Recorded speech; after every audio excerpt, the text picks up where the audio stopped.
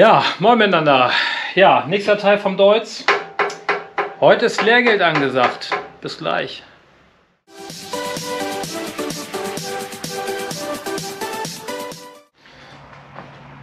Ja, wieso zeitliches Lehrgeld? Der Kopf war nur zur Bearbeitung. Ich habe aber die alte Glühkerze nicht rausgehabt. Und das Gewinde, ich muss es nachschneiden.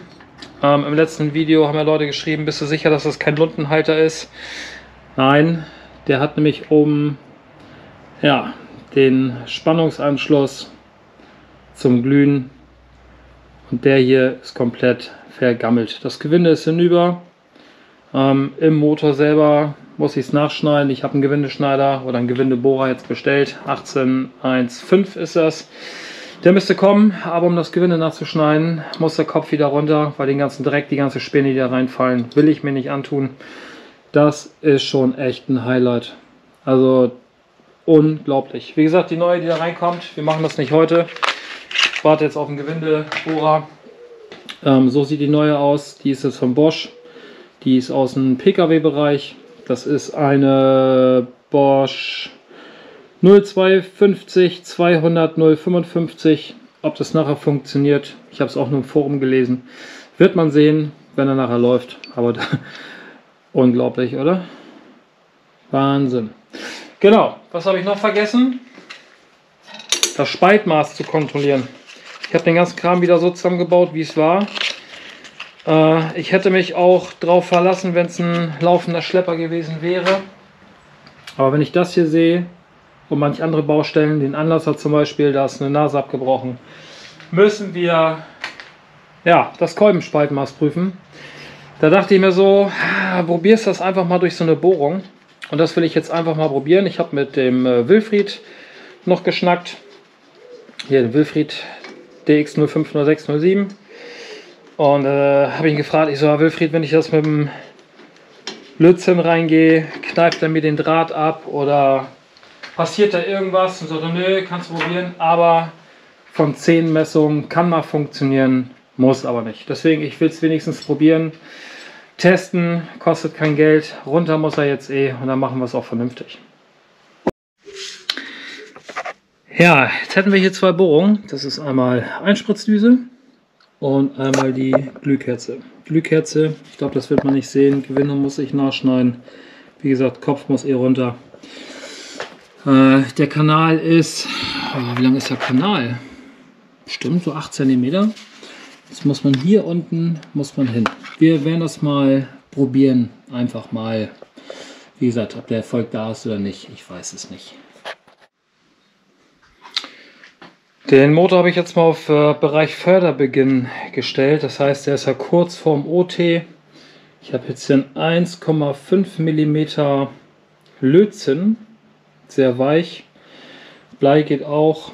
Glaube, im letzten Video habe ich irgendwas von Silberlot gesagt. Das natürlich nicht. Also nichts, was irgendwie metallisch ist, was hart ist. Es muss weich sein. Das heißt Blei, Zinn, sowas die Richtung. Äh, sonst habt ihr gleich eine Macke im Kolben. Das wollen wir natürlich nicht. Ähm, ja, ich will den jetzt hier aber mal so reinführen. Und wenn ich den hier reinführe, merke ich eigentlich schon, wie er auf dem Kolben lang gleitet. Das funktioniert ganz gut. Hier wären wir jetzt am Ende vom Kolben, wenn man es so sieht. Okay. Ähm, das ist hier, wie gesagt, ein 75R. Das heißt, der hat einen Plankolben. Und wenn das der Kolben, Kolbenende ist, müsste hier eigentlich so Mitte sein. Hier knicke ich den einfach mal ab und positioniere den mittig. So. Jetzt werde ich den einmal über den OT drehen. Ich bin gespannt, Leute. Ob ihr jetzt schon die Nase rümpft oder nicht, ich weiß es nicht. Ja.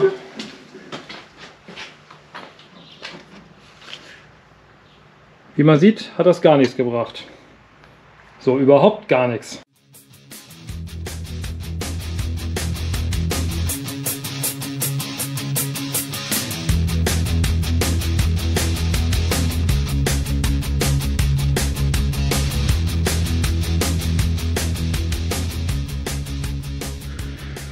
Kopf ist runter. Wir haben natürlich auch die Ventile in dem Bereich. Kann sein, dass es jetzt an den Ventile lag. Ich werde es hier mit ein bisschen Fett äh, drei kleine Stückchen Lötzinn aufkleben. Lötzinn hat wie gesagt 1,5. Spaltmaß möchte ich irgendwie so bei 1,3, 1,4 haben. Das wäre so ein Wert, wo ich ganz gerne hin möchte. Jetzt schrauben wir den Kopf wieder rauf und dann drehen wir mal durch. Wie ihr merkt, da ist kein Widerstand. Gar nichts.